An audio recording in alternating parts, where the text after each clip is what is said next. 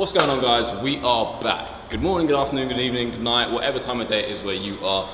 We are starting a new series here. This is kind of going to be the kind of how-to masterclass series. We're going to look at upgrading your workouts. So we're going to start off with the big one and that is chest training. So we're gonna be looking at your chest sessions. So we're gonna be looking at how we can improve and get the most out of your chest workouts. Okay, so first things first, before we get on to lifting any weight, we're gonna be going through our warm up. So warm ups are often overlooked or neglected by a lot of us. I'm guilty of that myself, but they are super important, not only for improving our workouts, but also decreasing the risk of injury. So three things to consider when we're going for a warm up is trying to increase range of motion, increase blood flow, and also activation of the target muscles. So although we're training pectorals today, we need to consider all the muscles and joints that are involved in these movements. So obviously the main joints involved are shoulders and elbows, but then we have to consider warming up the pectorals as well as the muscles of the upper back and arms. Up first is shoulder dislocates. So not as bad as it sounds, we're trying to increase range of motion and blood flow at the shoulders. So obviously the shoulder is gonna be super important for chest training. You can use a band, you can use a dowel, or you can just do it free weight with just your hands. We're gonna start nice, big, around the shoulder joint, as wide range of motion as you can, really opening up those shoulders. So really and truly, you should do this as often as possible, probably before and after every upper body workout. Nice and slow, so you can even concentrate a little bit more on one side at a time. Okay, so we tend not to do static stretching when we warm up. So static stretching can actually decrease your strength or power output in your training session. So if you are going to static stretch, try and keep it to after your workouts or even on separate days. So one of the exercises I recommend is a face pull. So this is great for warming up the upper back and the shoulders. So we're gonna get some external rotation in there. So this is all gonna increase the safety of your shoulder. So we're warming up the rotator cuffs, upper back, traps, rhomboids, rear delts. So we're pulling nice and high with some external rotation at the elbow. If you don't have a band, you can use a cable machine or you can even do it bent over with some dumbbells. So this can also be coupled with some band pull aparts, which is similar movement. It's gonna warm up the upper back and the shoulders. Okay, so as we mentioned with warming up the shoulders, one of the really important, well not just one, but the muscles that are really important in keeping your shoulders nice and healthy are the rotator cuffs.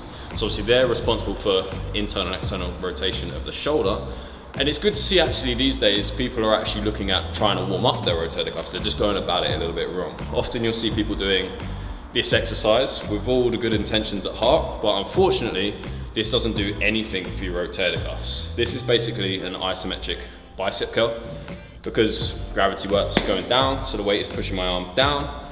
There's no resistance externally or internally against my rotator cuff.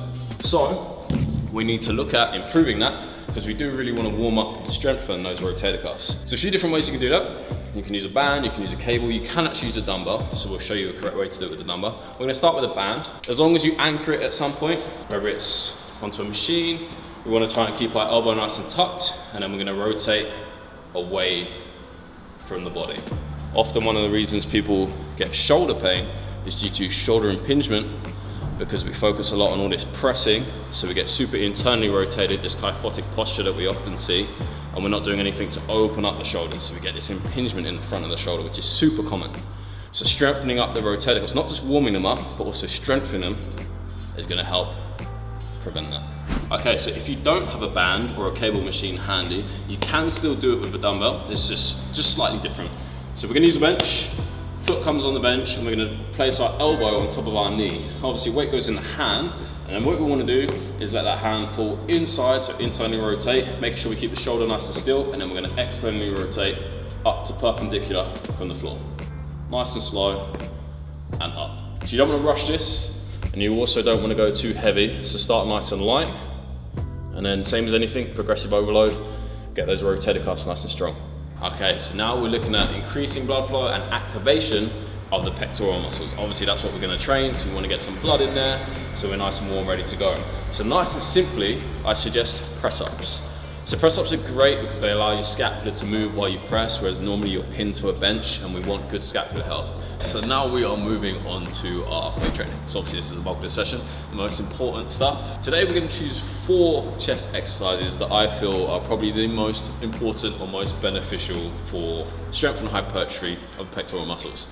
We are gonna start with barbell bench press. Okay, so we're starting on incline bench as you can see. So normally you'll probably find that people start on flat bench. Today we're going to start on an incline just because it can actually be a little bit better for obviously growing the upper pecs and just general chest recruitment. But there are a few things to consider when it comes to incline bench pressing. You may have seen a video go quite viral very recently of a guy incline bench pressing quite a substantial amount of weight and he has a little bit of an injury and his pec completely tears, which is pretty graphic. Um, but there's a few reasons for that. Not to say that he doesn't know what he's doing or he's doing anything incorrect, but there's better ways to go around your bench pressing, particularly with the incline. Width of your grip is gonna be a super important factor. So obviously you can go wide or narrow. Generally I advise people going just, just outside shoulder width, so what's called actually biacromial grip the wider you go, the actual more stress you can put through your shoulder. So that could be potentially a reason why you see a lot of pec tears when it comes to barbell bench pressing is because they've got quite a wide grip. If you bring it in a little bit, you can actually then get more range of motion and give yourself a better opportunity to grow the pectoral muscles because obviously full range of motion is going to be a super important factor when it comes to growing the chest. So one factor you want to consider is the angle of which your upper arm is in line to your torso. So in that video, you saw the guy tear his pec. His arms are all the way up here. They're super wide and they're fully abducted, so they're almost at 90 degrees from his body. So this is actually gonna take tension away from the upper pecs, which is what we're trying to target. You actually, when you're doing an incline, wanna bring your arms in a little bit, almost tucked into the body. So I generally suggest people to aim for about 45 degrees. So then that's where we'll bring a slightly narrower grip, bring the bar all the way down to chest, nice full range of motion, and up. When you see if I keep my elbows flared up at 90 degrees, I've got a wide grip, it's almost kind of like what we call a guillotine press, which is actually all gonna be anterior delt, so front of the shoulders. Actually takes tension away from the chest and puts a lot of stress on the shoulders. So bring those hands in a little bit, tuck those elbows, nice and low, full range of motion, big squeeze on the chest. With any exercise, we're focusing on full range of motion. We want a nice, slow, controlled eccentric, and then just full contraction. Okay, so I'm actually a big fan of dumbbells over barbells. But one of the big benefits of using a barbell is obviously that we can put the pectorals under greater load. So obviously one of the most important factors for growing muscle is tension and load. So if we can put more weight on it, we get more stimulus. Okay, so exercise two, probably my favorite chest exercise, is gonna be a flat dumbbell chest press. Okay, so as I said, we're on to our dumbbell press. So again, similar to obviously barbell press, but the advantage of the dumbbells is particularly range of motion. One of the key factors of muscle growth is full range of motion. The benefit of the dumbbells is we can go from fully lengthened to fully shortened.